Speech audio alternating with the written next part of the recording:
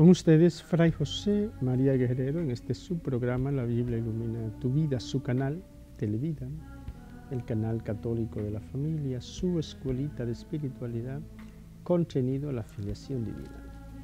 Hermanos, hermanas, hoy miércoles tenemos nuestra media hora de reflexión. Démonos prisa, aceleremos la historia. Recordarles, hermanos, hermanas, que hablamos permanentemente en este subprograma, La Biblia ilumina tu vida, de provocar un salto cualitativo en este siglo XXI. Esta sociedad nuestra, esta sociedad dominicana, es una sociedad tercermundista, una sociedad donde hay mucha pobreza, mucha pobreza, donde hay una gran diferencia social, ricos, muy ricos, y pobres, muy pobres. Y queremos, hermanos, hermanas, que este salto cualitativo afecte las áreas vitales que permiten que un ser humano viva con la dignidad de los hijos de Dios. Por ejemplo, área vital, la salud. Que cada dominicano, cada dominicana tenga garantizada, garantizado una salud adecuada. Salud, una buena alimentación, salud. Desde el vientre materno hasta la tumba, hasta el último hálito de su existencia, que tenga una salud adecuada, garantizada, garantizada. Siempre comento, hermanos, hermanas, cuando estaba en Santiago de los Caballeros, una comunidad muy hermosa. Allí tienen los hermanos capuchinos, en las charcas, un monte llamado Monte Albernia, una colinita, pero muy hermoso lugar. Y yo viví allí primero un año, después cuatro años y seis meses. Y recuerdo un domingo, una mañana, temprano, voy a celebrar una misa a una comunidad, se llama, se llama Dicayagua, Dicayagua. Me encanta caminar. Iba caminando alrededor de, de 3, 4 kilómetros. Y en el trayecto, hermanos, hermanas, en el trayecto me encuentro con una mujer joven. Eh, venía desesperada con su niña en, los brazos cargada para llevarla al hospital regional de Santiago. Una escena que conmovió profundamente toda mi existencia y jamás la olvidaré. ¿Cómo es posible? Es una mujer cargando a pie.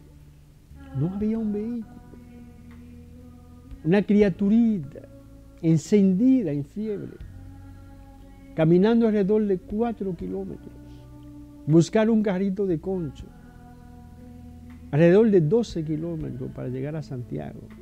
por favor, la niña puede morirse en el camino. Entonces vemos como el pobre, el pobre República Dominicana no tiene una salud garantizada. Queremos que eso desaparezca en el siglo XXI. Que cada pobre, una, una comunidad rural en Santiago, semi-rural, en Santiago de los Caballeros.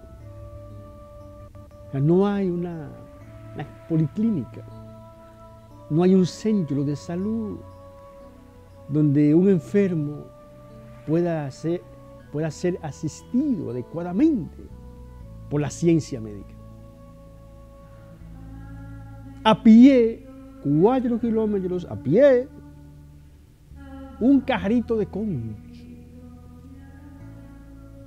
Carrito de concho. Público. No hay una ambulancia. Entonces el pobre que vive en un lugar marginado, en una comunidad semi-rural, no tiene una salud garantizada.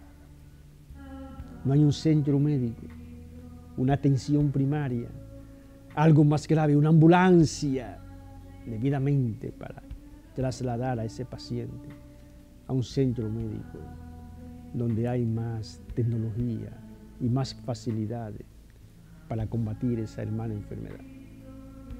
Eso no lo tenemos en República Dominicana.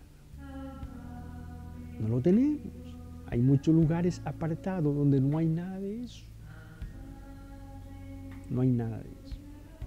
Entonces, a ver, hermanos, hermanas, si en este siglo nosotros acabamos con eso, hermanos, hermanas, y eso de verdad a mí me duele como dominicano. ¿Cómo es posible que nosotros reproduzcamos un siglo más, pleno siglo XXI? El siglo de la tecnología, de la ciencia, del conocimiento.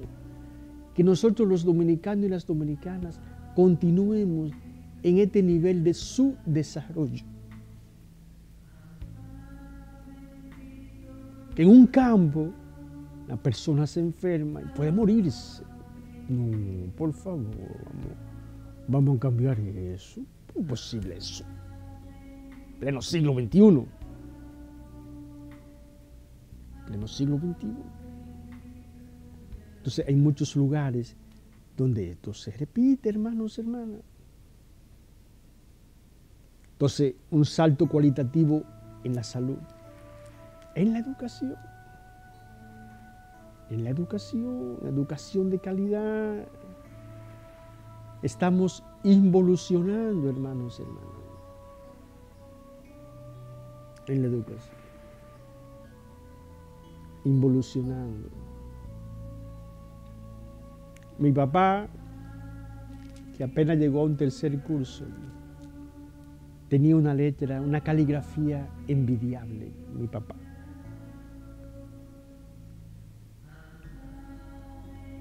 y sabía matemática. Tercer curso. Tercer curso. Pero un niño de tercer curso en nuestra escuela pública, mi papá en su tiempo sabía más. ¿Qué ha pasado? ¿Qué ha pasado? La época de los celulares, de la tecnología una ocasión en mi barrio, en el Caliche de Villa Duarte, hago, una ronda, un grupo de adolescentes ahí, jugando en los callejones. Pregunto, a ver, niñas, la capital de República Dominicana, dijo una jovencita, Haití.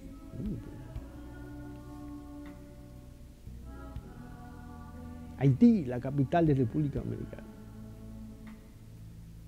Entonces, ¿qué educación estamos dando nosotros? Salto cualitativo en la educación. Y así en todas las áreas vitales, hermanos, hermanas. En la economía, más solidaridad, una distribución equitativa del ingreso, del ingreso,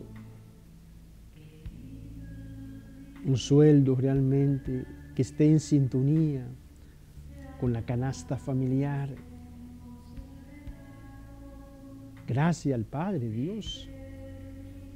¿Cómo es posible que una familia pueda comer, desayunar, almorzar con un sueldito de 12 mil pesos? Cuando la canasta familiar puede estar hoy ya alrededor de 60 mil pesos mensuales. Entonces, hermanos, hermanas, démonos prisa y sería esta como la idea, hermanos, hermanas, de verdad, eh, lo digo con el corazón. Nosotros no podemos permitirnos, los dominicanos, un siglo más con esta desigualdad social que estamos viviendo hoy en día. Por favor, hermano diácono que está atento, se le ha caído el celular. Él está atento, pensando, José, vamos a ver si hacemos algo. Entonces, hermanos, hermanas, tenemos que hacer algo, porque no podemos. Un siglo, 100 años más, no, no, seguir igual, los ricos más ricos, grandes torres, pero ¿y los pobres? Los barrios marginados, la basura, la laguna, los hermanos ratones, las casullas. Y no digamos, hermanos, hermanas, nuestros campos, esos campesinos apartados. Entonces, a ver si nos animamos y no, no, salimos de, esta, de, esta, este círculo. Tenemos cinco siglos en esto, hermanos, cinco siglos, 500 años. Y República Dominicana es una nación pobre, mucha pobreza, mucha pobreza material. Y claro, hermanos, hermanas, hablando de esto, los primeros que debemos ocuparnos, dar el salto cualitativo, somos los cristianos católicos. Hablamos siempre de una santidad canónica.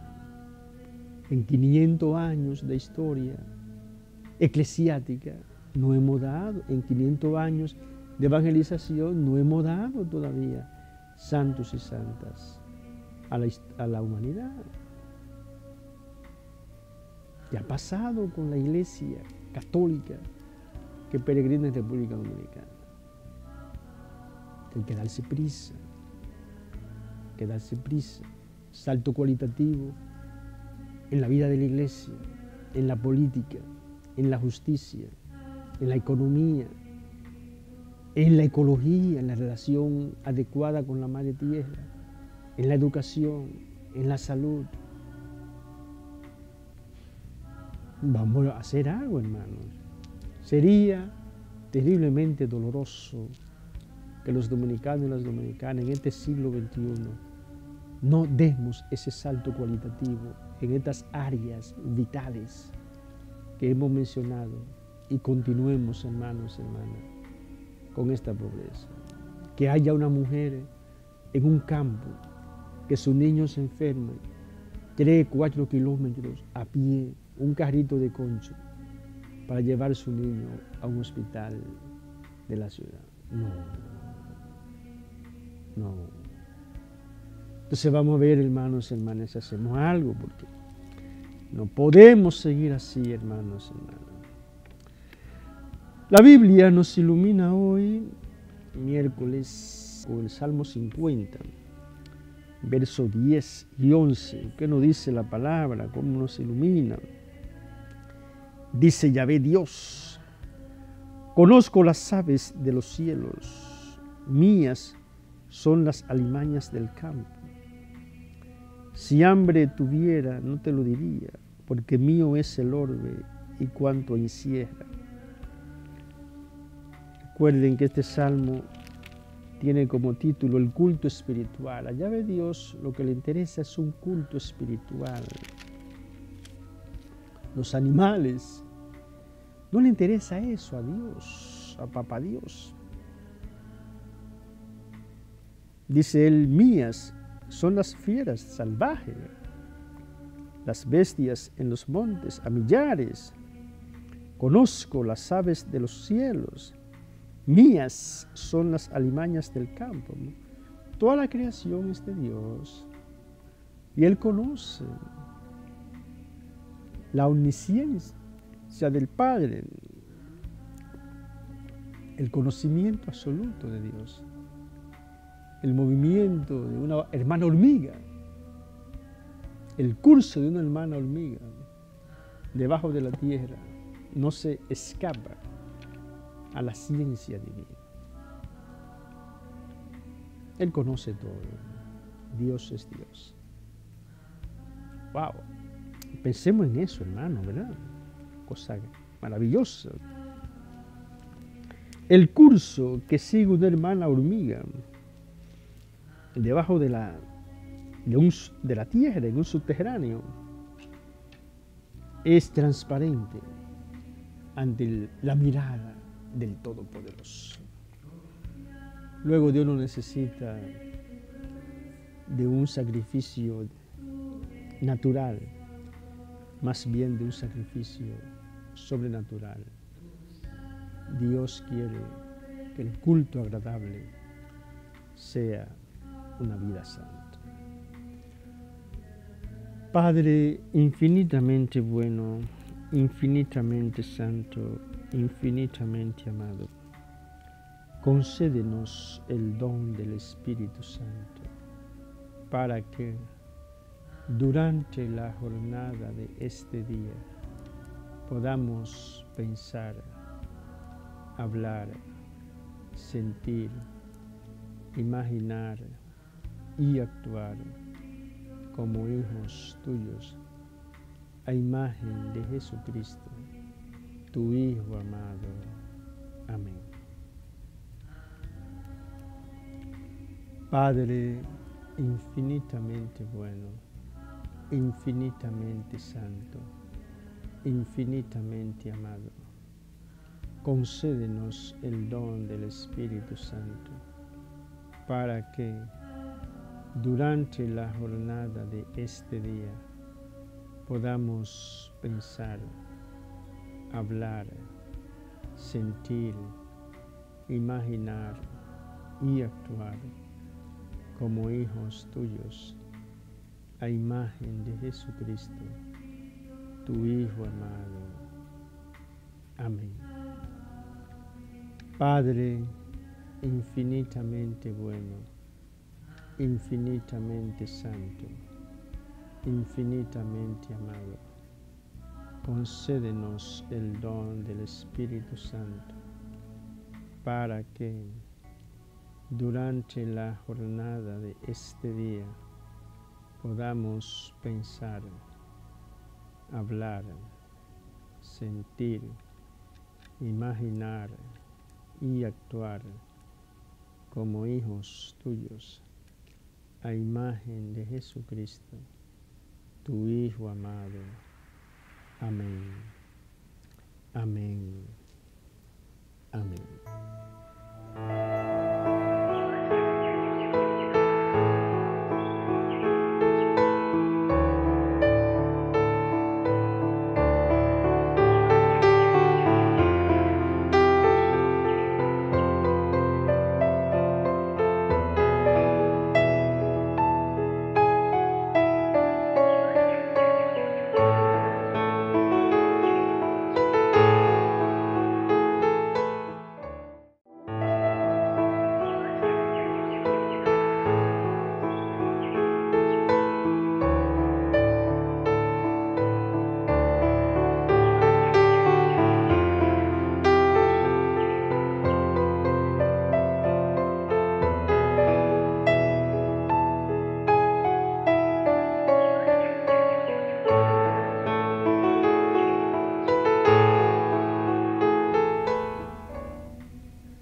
Qué bien, hermanos, hermanas, estar con ustedes de lunes a sábado en este subprograma. La Biblia ilumina tu vida. Saludo cariñoso para todos ustedes que reservan este espacio importante de su vida, de su tiempo para estar con nosotros en este su canal Televida, el canal católico de la familia. Un saludo cariñoso a nuestros niños y niñas. Sabemos que hay niños y niñas que se han inscrito en esta escuelita de, espiritualidad y están aprendiendo de la afiliación divina. Bien, hermanos, hermanas, estamos comentando el versículo 3 del capítulo 15 de Juan, donde nos dice la eterna verdad, vosotros estáis ya limpios, gracias a la palabra que os he dicho. Y partiendo de este versículo 3 del capítulo 15 de Juan, donde se nos habla de un efecto de la palabra de Dios, un efecto de la palabra de Dios.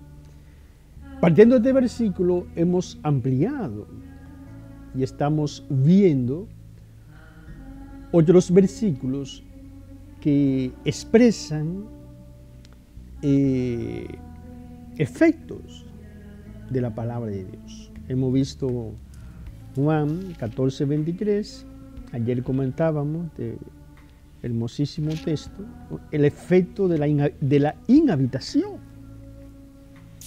el efecto de la inhabitación, es decir, la presencia sustancial del Padre, del Hijo y del Espíritu Santo en el alma de un creyente. Presencia sustancial. Y decíamos, hermanos, hermanas, que este es un misterio absoluto. Que esta inhabitación, es decir, la presencia real del Padre, del Hijo y del Espíritu Santo en el alma de un hombre santo, de una mujer santa, es un misterio tan profundo que no se comprende ni aquí en la tierra, ni se comprenderá plenamente en el cielo. El misterio de la inhabitación, el tercer misterio absoluto, que ninguna inteligencia creada puede aprender en su, en su capacidad de graciosidad. Entonces vamos a ver hoy, hermanos, hermanos, otro efecto, efecto de la palabra de Dios que personalmente me encanta. Y lo podemos llamar el efecto, utilizando un término de la psicología, eh, el efecto resiliente, resiliente, resiliente. En psicología se nos enseña que la resiliencia, resiliencia, es la facultad que tiene el ser humano de superar eh, situaciones adversas, dramáticas. Por ejemplo, la, muerte de un ser querido. La muerte, una situación dramática. Eh, el divorcio la separación de, del partner, el divorcio. Quiero recordarles, hermanos, hermanas, una escena, un hecho de vida que siempre menciono, que a mí me llamó poderosamente la atención. Se trata de una, de una madre, de una madre que tuvo una situación difícil con su hijo, al hijo se lo agarraron preso, en una nación extranjera. Y una conversación dice la madre que realmente en la situación de su hijo le produjo un dolor muy fuerte, un hijo preso en un país extranjero, pero no tan fuerte como el divorcio con su esposo. Y yo, wow, sea, la situación de un hijo preso eh, provoca un dolor profundo en la madre, pero no tan fuerte como la separación de su esposo. Espiritualmente, tiene razón, que la unión espiritual más profunda de un ser humano con otro ser humano es la unión matrimonial. Repito esto, que es importante comprenderlo, la unión espiritual más profunda de un ser humano con otro ser humano es la unión matrimonial, porque se hacen una sola carne. La mamá engendra a su hijo, a su hija, lo tiene nueve meses, X tiempo en su vientre, pero no se hace uno con el hijo o la hija. Pero esa mujer sí se hace uno con su esposo una sola carne, el misterio de la unidad indisoluble del matrimonio. Entonces, la, es un hecho dramático, que la resiliencia permite que esta mujer supere el efecto negativo del divorcio. Y así hay muchas situaciones, un colapso financiero. Entonces ya el hermano tiempo ha llegado, pero Quisiera que leyeran ustedes para seguir comentando en la próxima sesión. El final, que aquí es donde me baso, ¿verdad? Para hablar de la... Aquí es donde aparece el efecto resiliente de la palabra de Dios. Efecto resiliente de la palabra de Dios. El capítulo 7 de Mateo y su paralelo Lucas, capítulo 6 47 al 49, Lucas, y Mateo 7, del 24 al 27. Que lean por favor Mateo 7, del 24 al 27, y Lucas 6, 47 al 49, este efecto resiliente de la palabra de Dios que continuaremos en el próximo programa, el martes próximo de la reflexión. La bendición para todos y para todos y todas. Repito el texto de Mateo, Mateo 7, 24 al 27. Tres versículos, cuatro versículos. Lucas 6, 47 al 49. La bendición para todos y todas. Dios te salve María, llena eres de gracia, el Señor es contigo. Bendita eres entre todas las mujeres, bendito es el fruto de tu vientre Jesús. Santa María, Madre de Dios, ruega por nosotros pecadores, ahora y en la hora de nuestra muerte. Amén. Gloria al Padre y al Hijo y al Espíritu Santo, como era en el principio, ahora y siempre, por los siglos de los siglos. Amén. Amado, eterno y adorado Jesús, eres el Hijo del Dios vivo, eres el buen samaritano que nunca pasa de largo ante una necesidad humana. Te suplicamos por la intercesión de María Santísima de San José, que tú pongas en cada televidente, en cada miembro de su familia, que tú pongas en cada ser humano que habite este planeta Tierra el vino que tú sabes hace falta. Tú que vives y reinas por los siglos de los siglos. Amén. Jesús, en ti confío. Jesús, en ti confío.